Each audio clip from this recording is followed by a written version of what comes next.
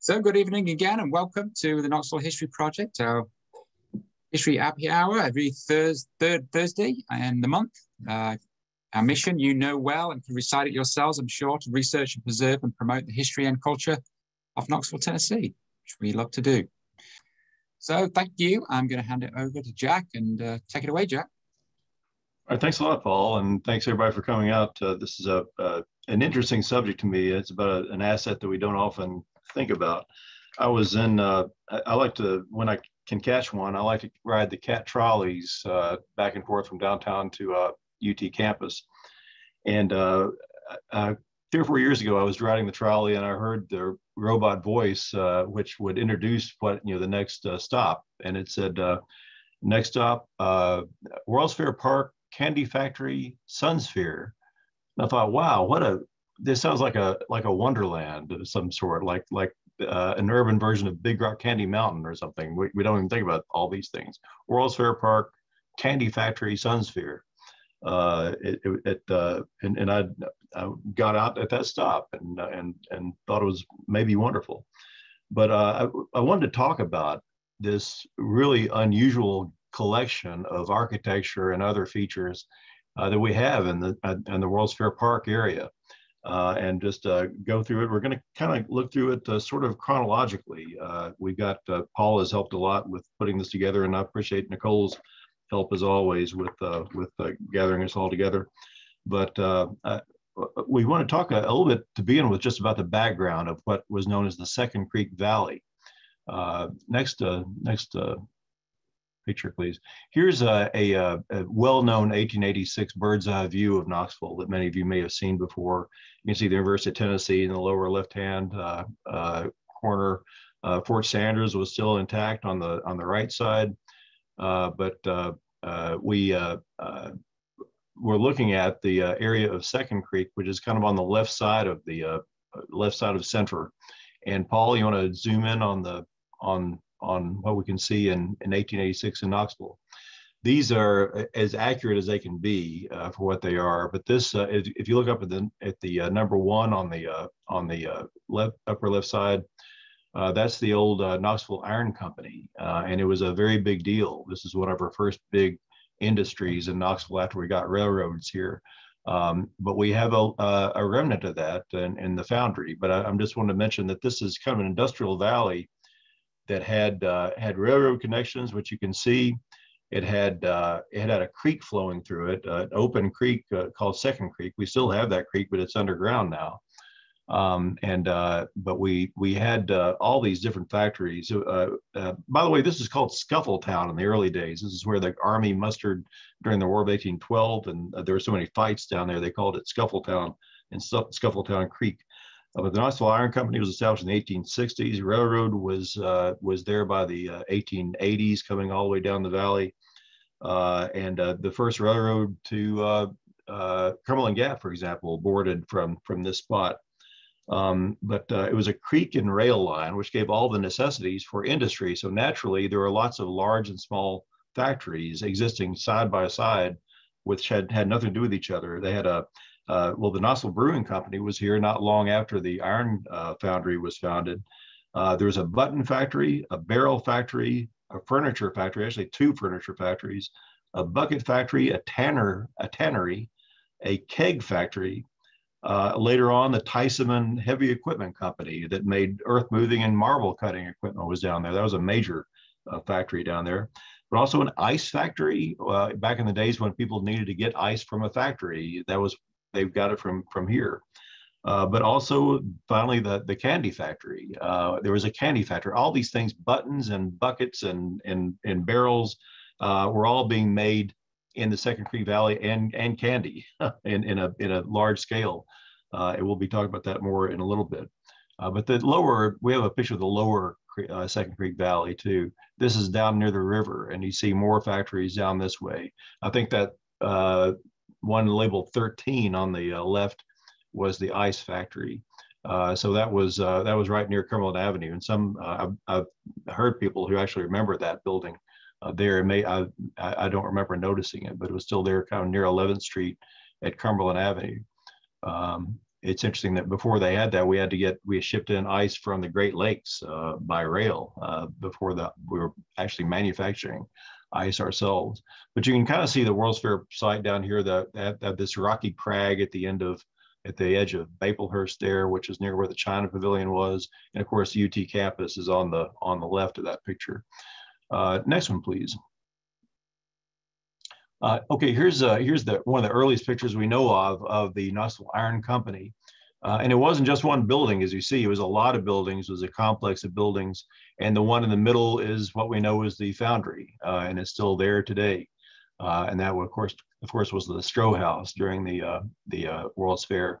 Uh, in the foreground, you see Second Creek, and that that train trestle is sort of still there today. That you, you can see the creek down below where the the the train crosses it there. next one, please. All right, here's another uh, view of, of the uh, of the iron uh, company. Uh, and the Knoxville Iron Company was a big deal, and believe it or not, it's sort of still in business. Uh, it was there until about 1905, and it moved up to Lonsdale, and it's now uh, the only steel mill in Tennessee.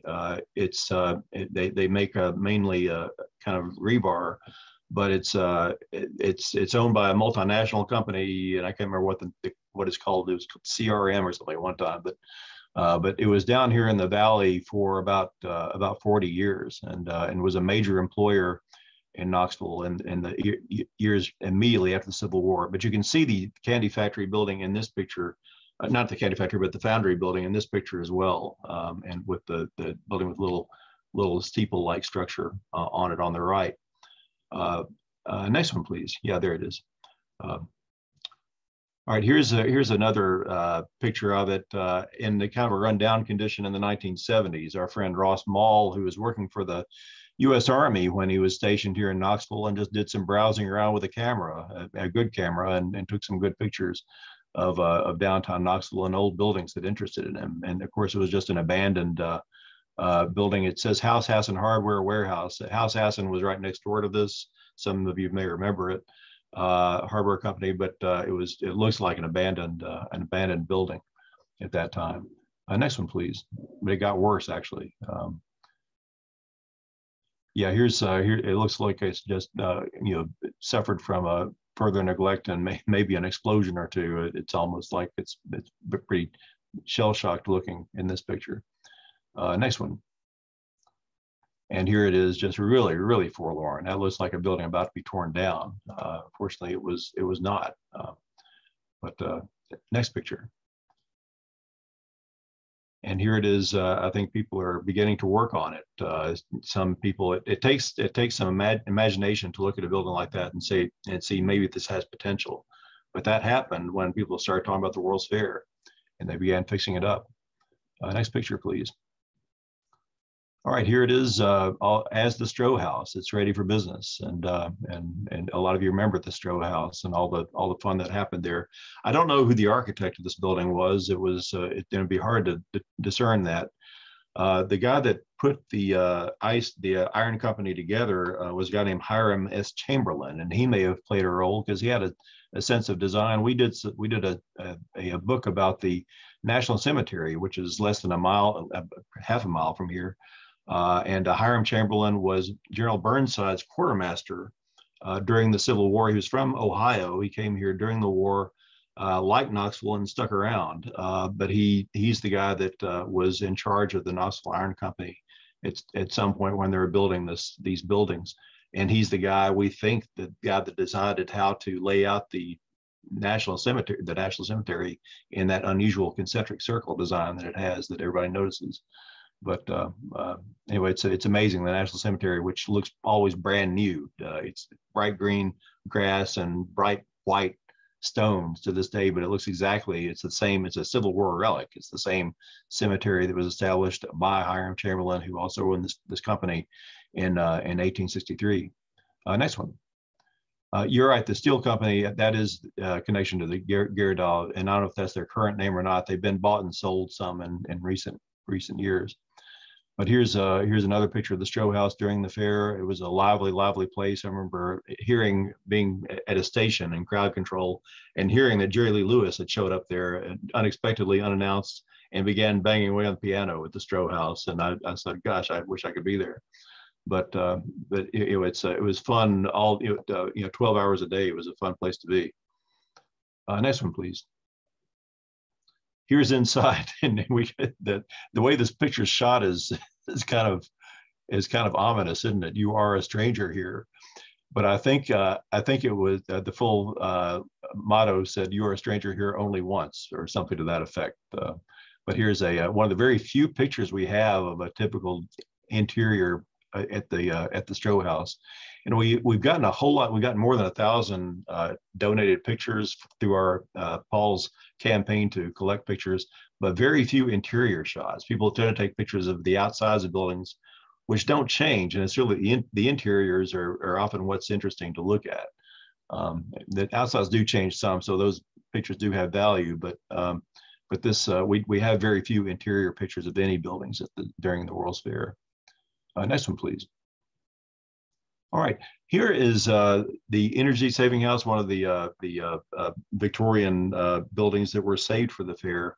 Uh, these were, there were a, a, cluster of these buildings over on the edge of the fair site, uh, seven uh, 1890s roughly buildings uh, that were all clustered together. Uh, there, um, and, and they were, they were kind of fascinating. There, there are four kind of good sized typical family home buildings, not large mansions, but just typical family home buildings and three smaller buildings that are kind of, kind of tight together. But this tells you something about what made the World's Fair remarkable. Uh, there has never been a more, uh, it's been said that there's never been a more preservationist fair. They saved, I think, 12 buildings in all uh, for use in the fair. This is a picture taken just yesterday that I, I took yesterday of the three uh, very small Victorian buildings facing 11th Street. These buildings were in such disrepair in 1979. I lived around the corner at the time that they said they're going to tear them down, and they were really interesting to me because they were so small. They were they were had Victorian pretension, but they were very small. And they, at that time, they were covered with vines. And uh, and I, I thought, well, they're, they're very poignant looking. I came down here with a camera and took a bunch of pictures, and I wish I could find those pictures. Uh, they, they're somewhere, but uh, but I, I, took the I took the pictures because I thought they're going to be torn down, and I, I, found out just a few months later that no, they're going to be fixed up and used in the uh, in in the fair.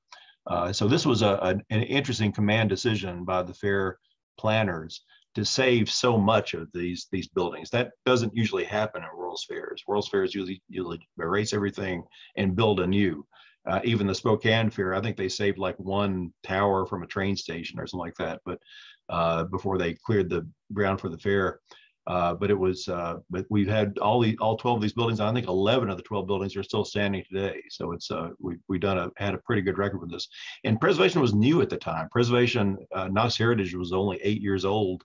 Uh, we'd only saved the Bijou back in '74, and it was kind of a. Some people thought that was a crazy crackpot thing to do, but uh, but this was the beginning, I think, of a of a sense of preservation in Knoxville. And I think the World's Fair uh, kind of demonstrated not only to Knoxville but to the world who came that look old buildings have have value. These buildings had just small. Each one had a, a small different feature. One of them was the uh, Budweiser beer garden, uh, the one down closest to the Clydesdales, uh, farthest in this from uh, from this perspective. But uh, but that was a fun place to a fun place to be. They had a kind of a back porch beer garden. next one, please. But by the way, who was it that said? Um, um, uh, uh, Gene Burr uh, was in, who's who may be here tonight uh, was involved in this. Gene Burr was also involved in the Old City project, which was just beginning at this time. People forget the Old City was unknown to most people in 1982. It wasn't until 1983 that Annie's opened, the very first uh, rest, you know, modern era restaurant down there. Uh, and uh, but uh, but a, a, certain number of, uh, of, of, enlightened uh, preservationists, preservationists, including Gene Burr, who worked on these houses with the fair, were also working at the uh, at the on the Old City project. Um, I, I, once did a research on all the people who lived in all these buildings. There, men, there were a lot of ministers in, in those days. church ministers often didn't make very much money, so they didn't have enough money for a house on Laurel Avenue or Clinch Avenue, but just a, these smaller houses on 11th Street. Um, but uh, but the uh, uh, uh Charles Smith, who was one of the the, the fair's uh, chief uh, architects, was was promised that the 1982 World's Fair would, would, be the most recyclable fair in history because of the buildings we were saving and that they would all be saved and used for different purposes in the future. And he was he was right about that. Uh, next one, please. All right, and here's an example. This is the L&N station. Uh, the uh, this is built to be a, a, passenger train station in 1905. I've learned a lot about this that I did not know. The building uh, architect is not on record in public records, but it's been uh, uh, very credibly attributed to a guy named Richard Montfort, who lived in Louisville, Kentucky at the time. But he was born in Ireland in 1854. Um, he studied at the Royal College of Science at Dublin and uh, he he he uh, worked for L&N and made his living uh, designing things for L&N, especially train stations. He also designed the famous Union Station in in Nashville, which has also been uh, well uh, well uh, renovated and reused. in 1905, he had a mandate from from L&N to build a station that was more impressively eye-catching than the fairly new Southern Station just around the corner. Uh, the Southern Railway was a much bigger railway and went uh, much farther distances, but they were going to build, they went at the L&N station, even though it was mainly for short distances from here to Cincinnati or Atlanta uh, or Louisville, it was mainly for short distances, but they wanted a fancier station. So, uh, so he began uh, with this design that has been described often with different versions of the word chateau, chateau-esque or chateau-like uh, building, but, it, but it's a it's described as a Flemish Renaissance style, and I was not all that familiar with that, but uh, began looking this up uh, to find out what Flemish Renaissance was, and it's very much like that. The, those elaborate gables look like they look like furniture on the uh, outside is uh, is is typical of, of, Flemish Renaissance. but a, a, beautiful station, 1905, built that had all the. It was of course segregated, had had uh, had uh, rooms for black and white uh, uh, passengers. Uh, and had uh, had a few features we'll see pictures of in a minute. but of course, this is the corner of of Henley and and what was then Asylum Street, but is, is now known as, as Western or Summit Hill. Um, so next one, please, Paul. Uh, yeah, I talked about the film, Flemish Renaissance style. We uh, Paul came up with this uh, with this picture of a, a, a, postcard from the 1878 World's Fair, and it seemed appropriate to, to use this as, a, as an example of Flemish Renaissance, since it was another another World's Fair. The Belgian Pavilion at the World's Fair had a Flemish Renaissance uh, uh, pavilion. The 1878 fair, by the way, was the one that Knox, Knoxville's own May, former Mayor Peter Staub went there as the U.S. Commissioner uh, representing the United States at the 1878 World's Fair, which was famous for the uh, the American part was famous for having Edison and Bell there, and also for showing off the uh, what the the uh, was it the head or the torch of the uh, Statue of Liberty at that at that fair before it was shipped over to over to America. Um, next one, please. And here's another one we just found. I thought it'd be interesting to show because it does look kind of like the uh, L&N station. The Pabst Mansion in Milwaukee is a few years older than the L&N station, but has that same kind of elaborate uh, uh, gable uh, treatment with that really uh, kind of flourish Rococo sort almost uh, gable treatment that uh, is is typical of the, the Flemish Renaissance style. next one, please. All right, this is inside the L&N, I wish you were still there. This looks like a fun a, a, fun place. The Crescent News Lunchroom. Uh, at, at, room with two O's. But uh, yeah, it's uh, it's those ladies look look ready for you uh, no matter what you want. They're really elaborate coffee makers back there and some uh, and some uh, various other kinds of soft drinks behind the behind the counter. But it's uh it's uh, uh I, I, doubt that the 1878 Belgian Pavilion still exists. To answer that question, uh, I don't know for sure. But uh, uh, usually, that's the interesting thing about a lot of World's Fairs. Just tear down everything after it's over, and sometimes they're meant to be per, temporary, and they just ship them off. But uh, often pieces get saved. But um, but anyway, this uh, there was a. Uh, I, I love the fact that the, uh, a newsstand would have a have a lunchroom, a place where you could buy a newspaper and sit down and and have a cup of coffee and read the newspaper, and that's what people with a layover at the uh, L&N would do. Uh, next one, please.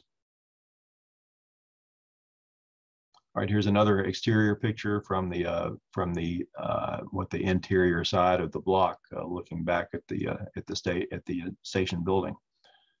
Uh, and you see the train car that says Louisville and Nashville. That's what the L&N was. Next one.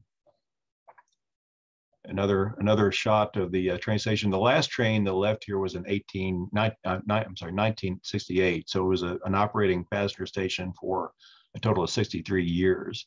I remember coming here as a kid and riding the, uh, uh getting a ride on the General down to Maryville. Uh, they had the the Civil War engine actually was still running, and they they had it in Knoxville for a while, and and, and during the centennial they were uh, taking uh, uh, excursion trips down to Maryville and back.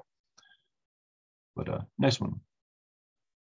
All right, here's a here's a, a nice, uh, a lovely uh, World's Fair era picture of this renovated train station, and I'm really glad. Who knows what would have happened? It had been empty for 14 years at the time of the World's Fair. Who knows what would have happened to it? Uh, but it was it, it was saved, uh, and it was saved uh, during the fair for a couple of restaurants in there. I know that Ruby Tuesdays had a restaurant, and there was the later on was the L&N Fish Market. There were two or three or four restaurants over the years, and then it re- remained a restaurant space. And of course, now uh, what about 10 years ago was renovated, very well renovated, thoroughly renovated. I think it looks better now uh, that uh, that uh, uh, the uh, L&N STEM Academy is is there. It was it, it looks probably better as as good or better now than it did in 1905 when it was built. It's it's and I wish more people could see the inside. You have to wait for a special event to to welcome the public in there, but it's it's it's very well done there, uh, but they're kind of careful. They uh, the public doesn't isn't allowed very close to the building right now, when especially when kids are there. Uh, next one.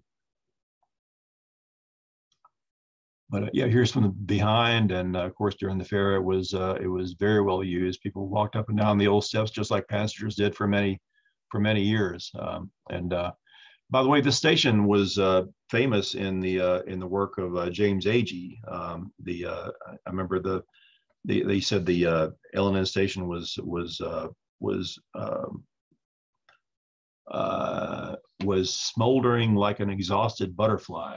That's uh, one of my favorite descriptions of it uh, in the famous uh, lifesaver walk from uh, when he and his his doomed father are, are walking down Asylum Avenue to their home in, in Fort Sanders. They they pause and and remark about it. But that the station actually returned several times in the in the uh, in the course of the novel. Uh, so it's one of the most literary uh, spaces here. Also, the stained glass is described in there, and there's a stained glass uh, throughout the, uh, the, the the train station. But um, anyway, next one, please.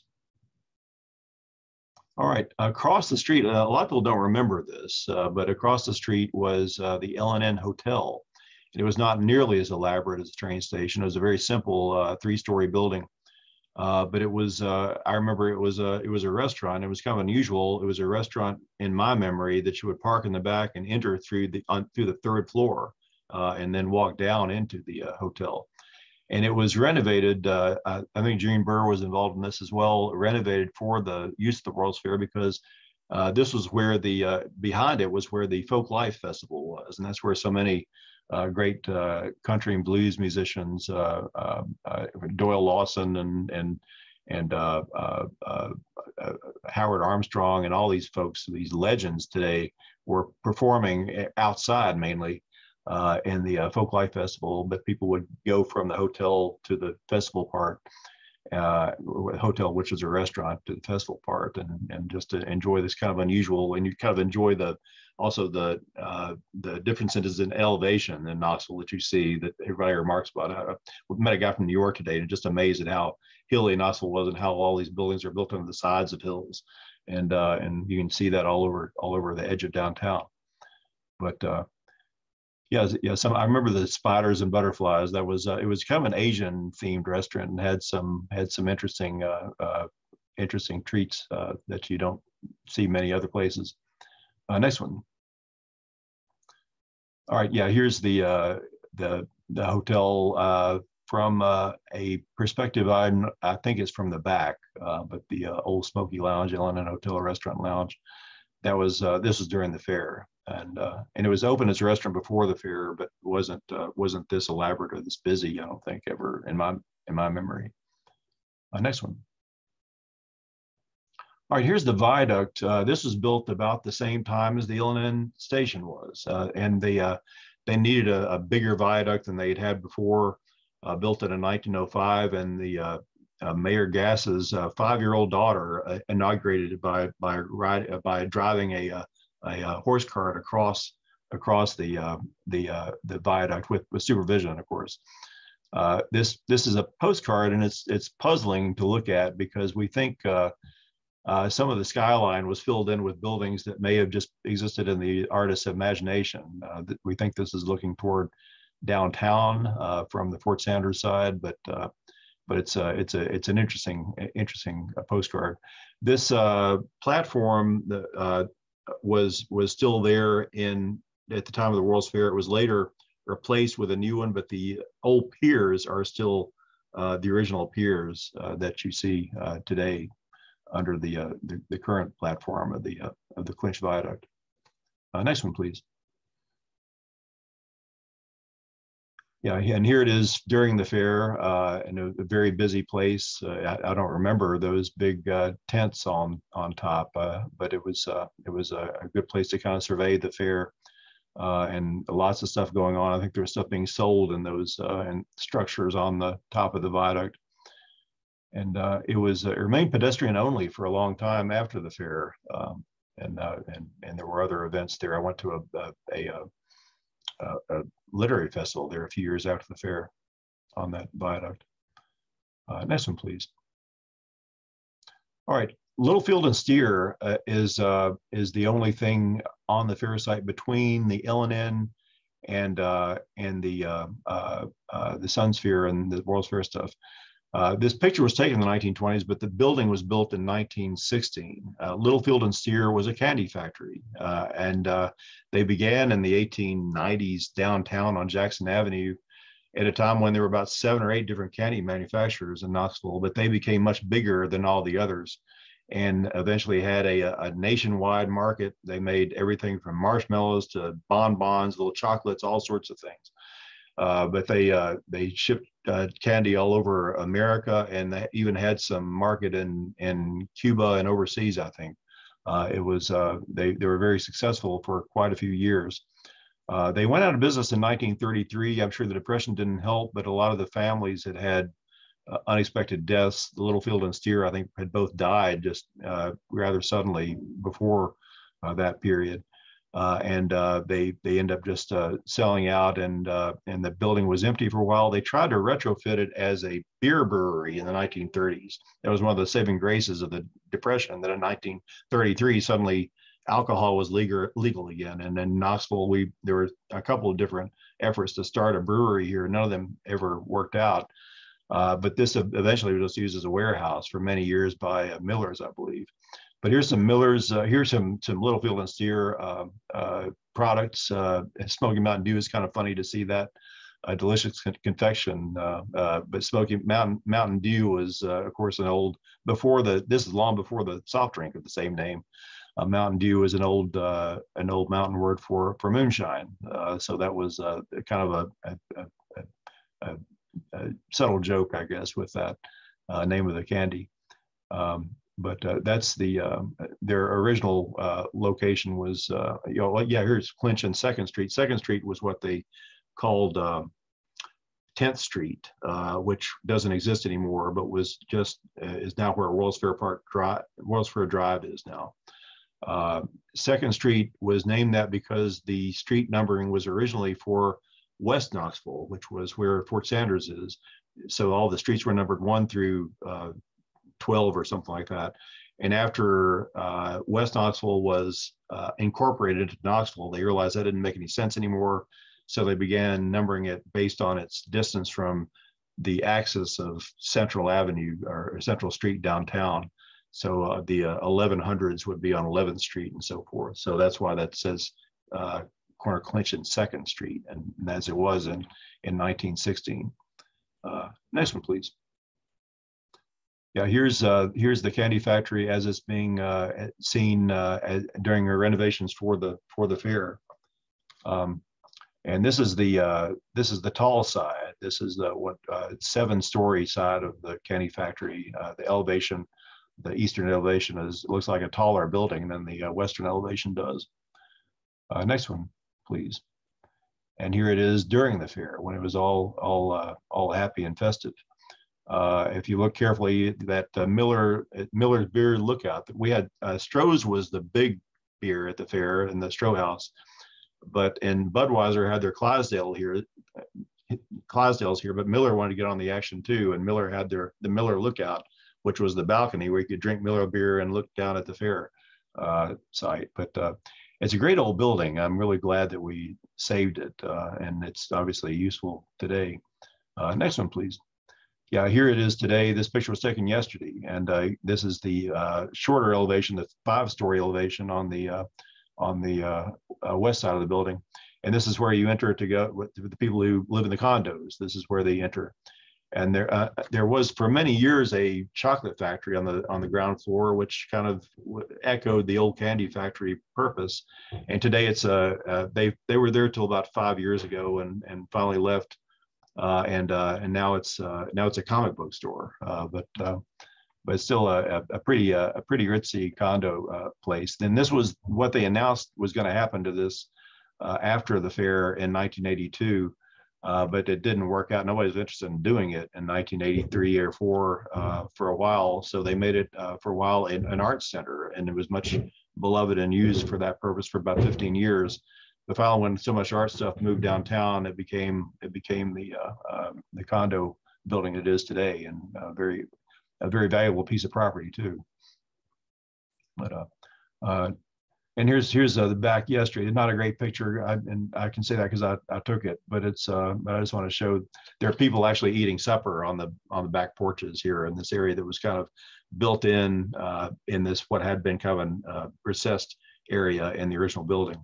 Now has this modern uh, uh, part that's built in, and people are really enjoying their their lives there. You can tell because almost all those porches have furniture on them, even when they don't have people on them. Um, next one.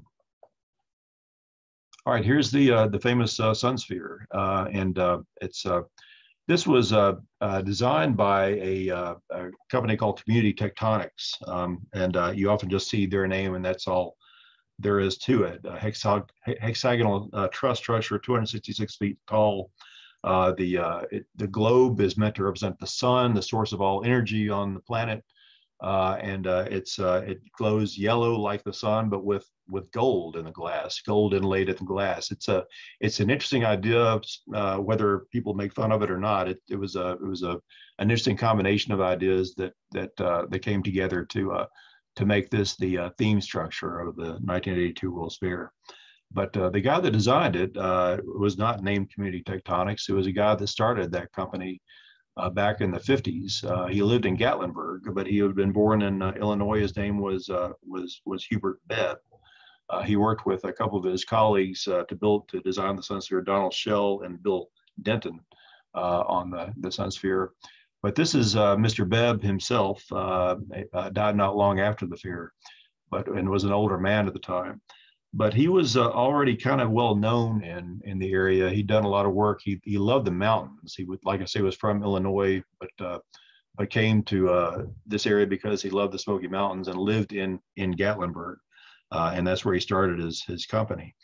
Uh, but he designed a, a, very famous piece of work in the mountains before this uh, in 1955, the out the big tower at Clingman's Dome, and we have a I think we have a there it is that's an early uh, early Hubert Bebb uh, structure. It was controversial at the time. I guess maybe still controversial to some people. Very modernist piece of work in the middle of the Great Smoky Mountains National Park.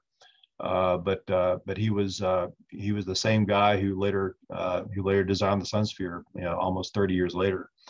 Um, but but he was interesting because he's a connection to an earlier World's Fair. Uh, it's interesting. You don't see any connections to Knoxville mentioned uh, I've not found any in promotions of the World's Fair. Uh, people thought it was just crazy that Knoxville should have a World's Fair, uh, and because even though Knoxville had many connections to other World's Fairs before, but but only in the late 19th and early 20th century. But Hubert Bebb was a guy living here who had been a designer at the Chicago World's Fair of 1933. 49 years er, before the 1982 World's Fair. This is uh, this is just a, a shot of the uh, Chicago Fair of 33. And uh, Hubert Bebb was one of several designers who did uh, who did work on on that uh, that yeah famous World's Fair. but yeah, a lot of would love to have seen seen some of this to connect the the Pabst thing. The Pabst Blue Ribbon Casino was there, but the that Pabst keep Pabst and other beers keep coming up in the talk tonight. But uh, anyway, and the Mueller Pabst Cafe over there. But uh, yeah, beer. You can't have a World's Fair without some beer. I think that's the uh, general message of, of this. Um, but uh, anyway, it's uh, uh, an interesting journey that Hubert Bebb took from the 1933 Chicago World's Fair to the 1982 Knoxville World's Fair, uh, and uh, and brought some maybe some interesting ideas with him. By the way, he uh, he and the, the, other architects, including Mr. Denton, worked consulted with a very famous architect on the Sun Sphere, a guy named Buckminster Fuller. Uh, and he had uh, other Knoxville connections before this. He was, of course, the creator of the geodesic dome, which became famous at the Montreal World's Fair of 1967, uh, and, and, which is still there. Um, but uh, he has an interesting connection because he was in Knoxville lecturing at UT when they were unveiling the uh, geodesic dome in Montreal, and the uh, national press was interviewing him in Knoxville about the geodesic dome in Montreal while he while he was here. Uh, but uh, anyway, he was uh, an interesting guy. And by the way, that geodesic dome in Montreal was eventually uh, covered with Rohm and Haas plexiglass. So that was an interesting thing from manufactured Knoxville. You know, thousands of pieces of it. Um, but the uh, the the Sun Sphere has uh, some aspects that look like a geodesic dome, sort of. We don't know whether his advice had anything to do with the final uh, appearance of the Sun Sphere or not. But he came here and and uh, consulted with uh, some architects. That they actually had uh, had dinner at the Club LeConte in downtown and and talked about World's Fair architecture, which he was one of the I guess one of the world authorities on the subject. next one, please yeah, here's a sun sphere under construction. And I, I, I, lived near there at the time and I, I, really thought it was a beautiful building. I liked it as it was being built. And I was not that crazy about when they started filling it in with, uh, with yellow glass, but uh, I thought it really, it was an inter interesting structure when it was first uh, being built. Uh, next one, please. Yeah, here it is just a little bit farther along. Uh, next one. And, uh, and completed. Um, the uh, Sunsphere has uh, been through quite a lot uh, culturally and and otherwise. Uh, it's uh, it, it's uh, by the way, it's one of one of only three World's Fair towers in America. the others are the Space Needle in Seattle, not the one in Gatlinburg, but the, the Space Needle in Seattle, and the Tower of the Americas in San Antonio. And I've been up in that one. That's the tallest of the three and this is the is the shortest. But it's it the other two don't have are, are pretty are pretty spare and basic and as towers. And this uh, one has this really, really extraordinarily unusual uh, uh, feature to it, the, the giant uh, uh, uh, Golden Globe, which was claimed to be the only, the most perfectly spherical building in the world at the time. I don't know how you, you judge that, but that was that was the claim, and I can't argue with it it's been through quite a lot over the years. It's been uh, it's been uh, uh, made fun of. It's been shot at. Uh, uh, Miss USA stood on top of the Sun Sphere to welcome the world to the television broadcast when Bob Barker was here for the Miss USA pageant of 1983. So this was they had this uh, helicopter shot of this woman standing alone on top of the Sun Sphere, greeting the world, welcoming the world to Knoxville in 1983 and then showing pointing over to the civic coliseum which is where they had the, the pageant and uh, had all the dancing and all everything else was going on there. Uh, but it was uh, uh it, it's kind of a it's on youtube if you want to see it. It's kind of an amazing amazing thing to uh, behold. But also it's uh, been made fun of in the in the simpsons cartoon. This is of course you, you may have seen this this uh, interesting episode uh, that uh, was not entirely complimentary to Knoxville, but it's still fun to uh, to watch. Um, uh, it was, of course, there was one one kid Nelson threw a rock at it, and, it, and the sun Sunsphere, which was a wig wig shop, fell over. Um, but anyway, it was um, kind of a kind of an interesting. It, it, was the kind of embarrassing thing that we're kind of proud of that we people like to watch that uh, that Simpsons episode. It has been mocked as a disco ball or a golf ball on a tee, but it's also been imitated, and this is remarkable. I don't know if you, have seen this picture before, uh, but in Kazakhstan, uh, over a, a former part of the Soviet Union, there's this. This was built a few years after the Sun Sphere. And believe it or not, this was central to an energy World's Fair a few years ago. Uh, so it's uh, it's it's uh, it, nothing's new under the sun sphere, so to speak. But uh, but in in Kazakhstan, that doesn't represent the sun. That represents the uh, egg of a giant uh, mythical bird.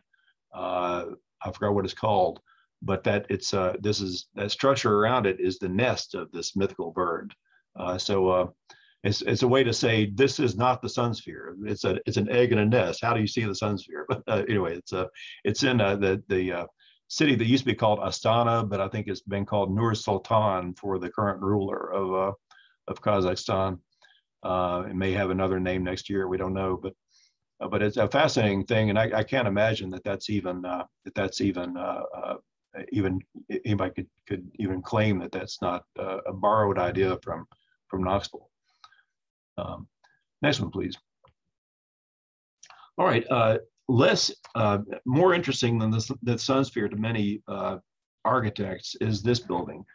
This is the building that was kind of mocked as the uh, as the as as Dolly's bra in 1982. That's what people called it, uh, kind of routinely. Uh, and that was funny enough, but it was, uh, but it, it's actually a a a, a, a groundbreaking, almost revolutionary piece of architecture, uh, designed by, attributed to a guy named Horst Berger, who was born in 1828, uh, was a student at, at Stuttgart. I guess he grew up in Nazi Germany, but he was, uh, he was a kid at that time. Uh, but he was uh, studied at Stuttgart in the early 1950s uh, architecture and began experimenting with tensile fabric design, a very modern design of, of, of adaptable to lots of purposes. Um, this uh, the uh, Tennessee Amphitheater, of course, served as a as a major performance space uh, during the World's Fair. It's where the uh, daily uh, performances of Sing Tennessee, which is kind of a Broadway style show, uh, was. Um, do we have any picture, pictures of the of the amphitheater itself, Paul, or is that just wanted to go back to that one? Uh, but this was where uh, uh, lots and lots of performers, interesting performers, were.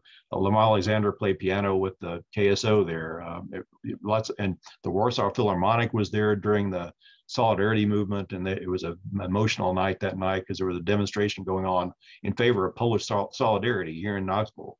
So it was uh, it was it was lots of fascinating connections. But Horst Berger, who was a who was a, not an architect exactly, but an architectural engineer, uh, worked with uh, Bruce McCarty, uh, the uh, the uh, local uh, advocate of modernism, champion of modernism in town, and were they had a lot of respect for each other. And and Horst Berger designed this thing as a as a as a useful a, a, useful building. It's it's great because it has a you can walk in as an audience member, but you can walk past it as I did last night with the UT non-credit group over the top of it, uh, over over the back of it, not and not really even go into the theater itself. You can see it, but not actually go into it, and just walk all the way through and to the other side. Uh, so it's a it's an, an adaptable, interesting uh, building uh, that uh, I'm glad we saved. It was almost torn down about 20 years ago because a lot of the original uh, steel structures were were corroding pretty badly and is becoming unsafe. But this the city with Bruce McCarty, who was a very old man at the time, was became a champion of saving this building, and uh, and successfully did so. Uh, and uh, I'm I'm glad we're grateful to him. He died a few years ago, but he was very proud that Knoxville had this building. And and Poles of Architects have said this is one of the most uh, uh, important buildings in in Tennessee. Uh, just for its role in the in the early years of this tensile fabric design, and we have a few other examples of, of, of, of of uh, career. This is the Denver International Airport. Does this look familiar? This is built a few years after the Sun Sphere. And look at all the, uh, it looks like it has a bunch of Tennessee amphitheaters on top of it. Uh, next one, please. And here's uh, the King Fahd International Stadium in Saudi Arabia, uh, also a Horst Berger uh, design. Uh, next one.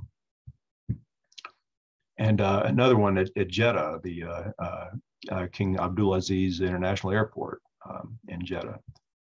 next one. And okay, here's uh, here's a building that I'm, I'm sorry to say uh, is is not here anymore. Uh, the U.S. Pavilion. This was meant to be a permanent building, but but was not. It's hard to even tell this actually a building, but it was a six-story building built there and designed by an Atlanta uh, firm that uh, known uh, for short as FabRap. That, that, stood for Finch, Alexander, Barnes, Rothschild, and Pascal.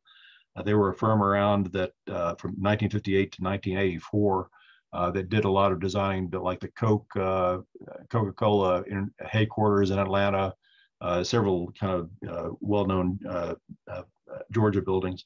Uh, this actually won a, uh, a, architectural prize from from a Georgia State uh, architectural prize if, if not one in Tennessee. Uh, but it didn't, uh, it didn't, not everybody liked it. Uh, the New Yorker uh, uh, writer and critic E.J. Kahn came here and described it as a slope-side six-story pile whose main distinction is that it is in part solar hearted, solar heated and solar cooled. Looks like a factory that has been designed by the factory's owner's son-in-law. Um, he didn't he didn't like the building. Rex Reed, remember Rex Reed, the uh, the kind of celebrity critic, uh, came here and described it as a as a six level horror of glass and steel that looks like a giant gasworks gone berserk. Uh, it also had, and we, we've been kind of frustrated not to see good pictures of it. It also had connected to it in a separate building, an IMAX theater, um, and uh, this was uh, uh, it was right behind the the uh, the main uh, pavilion, and you can kind of you can see the entrance to the IMAX theater from there. Um, uh, this was uh, this was all all built together, and they were both meant to be permanent. Uh, but uh, and the city tried to use this building for several things. I think there was an art auction in there once, and they had uh, chili cook-offs and and very some religious events, some some er, er, several things. Ironically, one of the reasons the city wanted to get rid of it was that it was not it was energy inefficient that it was uh, it was a kind of a uh, it was it was expensive to to keep up which is uh, it's, it's it's kind of a kind of not what was intended I think uh, for that uh, but there was a uh, it was finally demolished in 1991 at big spectacular dynamite explosions that destroyed both buildings nine years after the fair and I to, I remember the groaning that happened when the city, uh, the city had in the 90s was going through a lot of hiring a lot of uh, consultants to advise on different things. I remember one consultant saying what downtown needed, how do we get people back downtown? And one consultant was here and he studied the issue and said, you know what downtown really needs is an IMAX theater.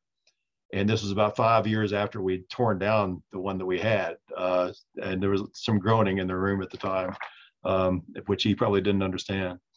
Um, but uh, anyway, it's uh, uh, it's not there anymore. It's kind of you can kind of see where it was though. It's kind of the, at the very end of the, uh, the of the of the water where the waterfall is, and that's where the the U.S. Pavilion was. Uh, but it was kind of a symbol of America. This was where they had all the high tech stuff. This is where the touchscreen computers were. Most people had never seen anything like this, and even Rex Reed came there and were just amazed. He was uh, that you could touch a screen and it would change uh, that most people had never seen that. And he, he tried to get somebody to explain it to him, and he said he couldn't find anybody that understood it either in, in the even working for the pavilion. Um, but uh, you know, it's a it was, a lot of interesting stuff was unveiled here, whether people knew what it was at the time or not. I think people at the time we thought, you know, what's a touchscreen computer for? But we actually use the same technology on our smartphones today. Um, but uh, next one, please. All right, here's uh, the first thing built after the fair was the Knoxville Museum of Art. Uh, and uh, it was uh, designed by, uh, I think, one of the 10 or so best known architects to work in, in Knoxville, Edward Larrabee Barnes, who was a well-known architect, died several years ago, did was best, well known for art museums and kind of big you know, monumental, monumental structures.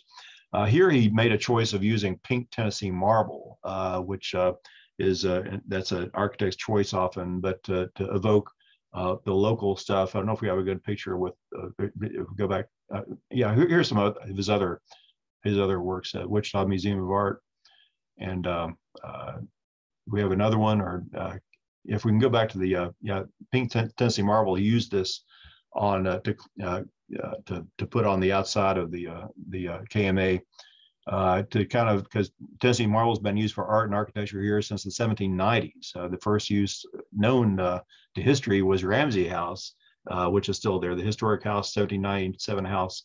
but here's here's the the building under construction in 1990. Uh, and uh, uh, was, was, was was I think it's been a successful building, and it's we love the KMA, and they have a, if you haven't seen their their higher ground exhibit, it's a great uh, chronological story of art, basically, with the actual art uh, uh, since the 1850s to the present time. Um, but and, and, the impressionism of, of Catherine Wiley and the abstract work of of uh, Beauford Delaney.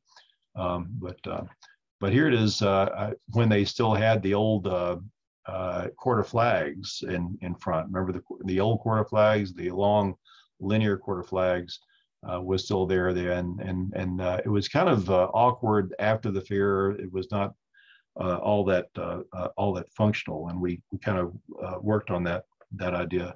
By the way, I don't know if it was meant to be symbolic, but this was was cited at the uh, on the side of the Japan Japan Pavilion, which was most famous for its painting robot. So it, it had an artistic robot at the future site of the uh, Knoxville, Museum of Art. Um, uh, next one, please. Yeah, here's the opening of it. Um, dramatic, very dramatic, uh, artsy opening. Uh, next one.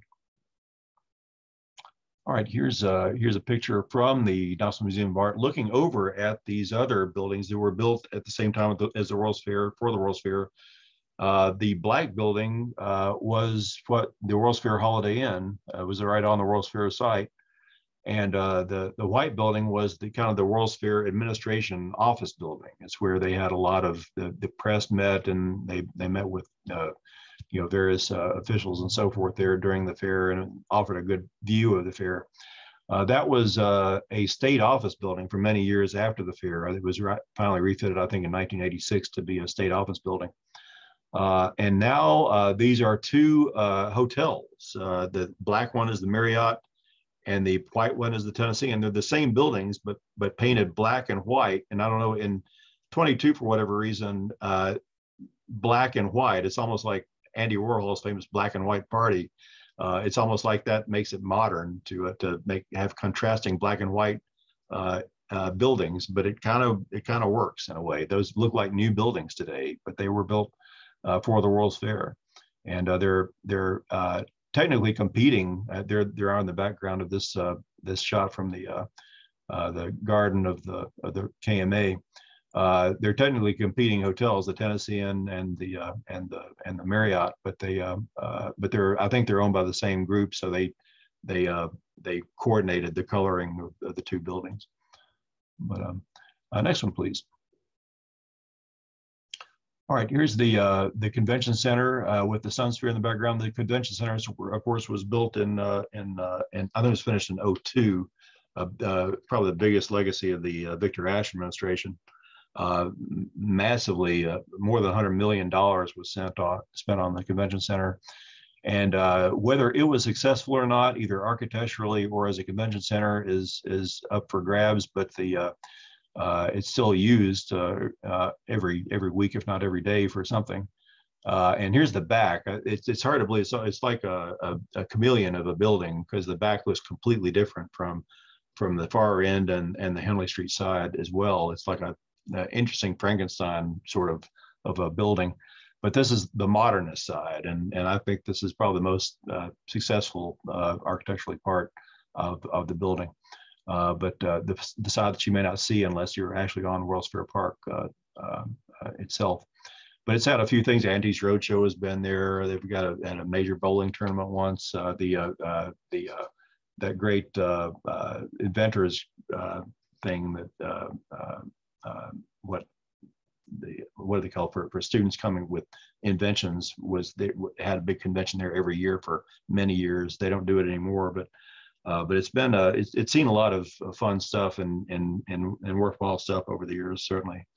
Uh, but uh, but it was uh, uh, it's it's there and I guess the most conspicuous modern building on the on the World's Fair Park. Next one, please. All right, here's the original court of flags that we saw briefly uh, a minute ago. And this is where uh, Ronald Reagan spoke and where a lot of, they had daily uh, uh, uh, high school bands playing here throughout the fair. It was kind of, if you notice, it, was kind of dysfunctional in some ways. It was a stage with with kind of kind of risers on it uh, for for bands and orchestras. But look at where the audience should be was was water. You know, you you, you would have to it, the audience had to kind of crowd around the the waters of the world to uh, to uh, witness whatever was going on there. So it was not very functional. I remember the the night of the opening of the fair, uh, they had a, a very well-known blues act, uh, uh, uh, Sonny Terry and Brownie McGhee. Brownie McGhee, who was from Knoxville, were performing at at the Court of Flags but nobody knew there was a performance space. So they were sitting on the Court of Flags and people were just walking all around them and walking by them. These two old old blues guys sitting on on a on a step uh, playing while while a few people thought they were buskers or something and and started gathering around. And when I saw them, there were only about 20 people paying attention to this show, and they they had actually been here a year or two before at the uh, at UT uh, Alumni Memorial and had sold uh, you know five dollar tickets uh, filled filled the place, uh, but but people didn't even know who they were or that this was a venue. So it was never really very functional, and it was kind of uh, reimagined uh, after that. Uh, what, what's the next one, Paul? as as this, the of Flags, by the way, had flags of all 22 nations that were part of the World's Fair. And Ross Fowler, Mike Fowler with Ross Fowler, came up with this whole new idea of, of taking the theme of the of Flags and keeping all 22 flags, but doing something completely different with it. And they had uh, have two uh, circles of flags, 11 flags each, uh, with uh, this big, uh, massive fountain uh, feature in the middle. And I think it's been a very successful thing. It's obviously a very popular thing. On hot day, there might be 150 kids playing in there with their their parents watching alongside. Uh, but this has been, a, I think, a, a use, more useful uh, way to interpret that idea, and it might have been a good idea in 1982. But the landscape architecture of the fair is kind of what we're talking about now. The, the how the, the landscape of World's Fair Park uh, has uh, has kind of created a, a, a, very functional park, a better park than it had been had been before. Uh, next one, please. Yeah, here's another feature of the current World's Fair Park with the kind of faux uh, uh, creek down near Cumberland Avenue. next one. A nice bridge over there. Okay, here's the East Tennessee Veterans Memorial, and this is the memorial that has the names of every soldier who died in combat in uh, in in war from East Tennessee since since 1917. Uh, so they have both world wars, Vietnam, Korea, uh, Iraq, uh, all, uh, Afghanistan, all these these these battles and soldiers are remembered here.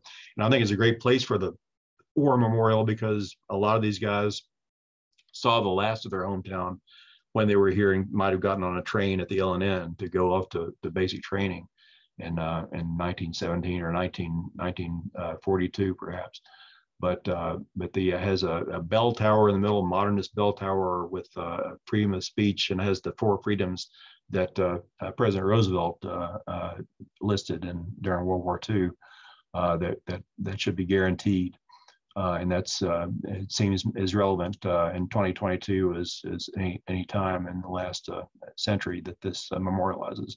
This has been here for about 12 or 14 years now, and they uh, at more, Memorial Day, they have veterans come here and they read all the names, hundreds and hundreds of names, uh, thousands of names of soldiers who were who were who died in battle.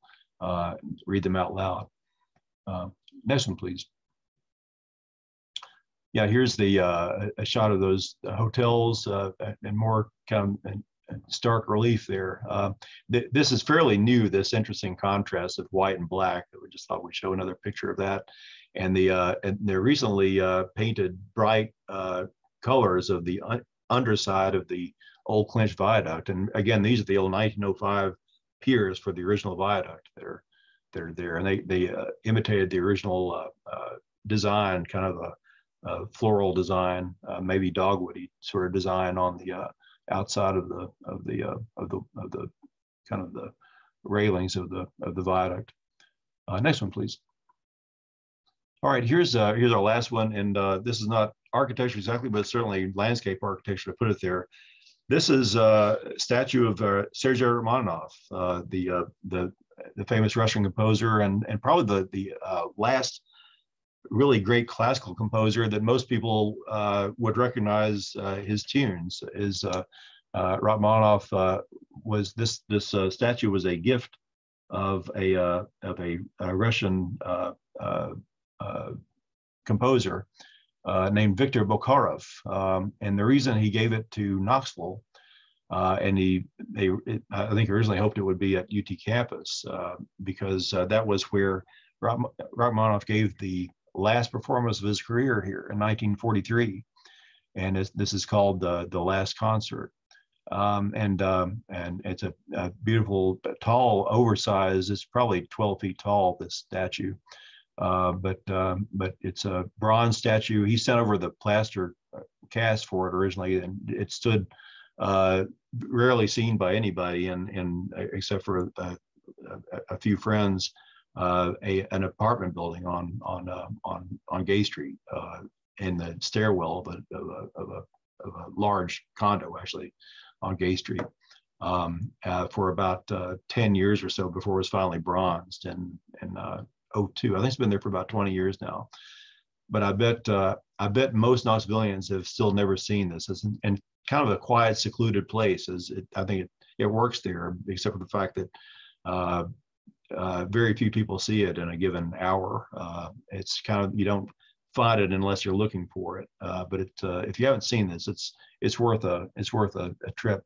But the World's Fair Park is, is it's a fascinating walk around. It's unlike uh, it, the combination of buildings there is unlike anywhere in the world. And I, I think I, I shouldn't have been so uh, surprised to think of uh, as I was riding along in, uh, in the in the trolley to UT uh, World's Fair Park, uh, Sunsphere Candy Factory, and because it is a it is kind of a charmed place, I think, in a way, in the in the combinations of all these stories, of all these buildings and and landscape features that that make it, uh, I think, unlike anywhere in the world. Uh, but uh, anyway, this is one of many things we're doing for uh, in celebration of the 40th anniversary of the of the World's Fair uh, this this uh, this year. where exactly is it? If you know where the South Lawn is, it's right just south of the South Lawn. If you were to walk up from from the corner of Cumberland Avenue and 11th Street, just walk up the steps into the World's Fair Park. There, you'll see it right away. It's kind of back behind some trees. I, I sometimes approach it from uh, walking uh, south of the uh, Tennessee Amphitheater toward UT and the bridge over Cumberland Avenue and, and uh, take groups and just turn right there into this copse of trees and, and there he is. Uh, but uh, but really dramatic spot. But thanks a lot and and and come back come back soon.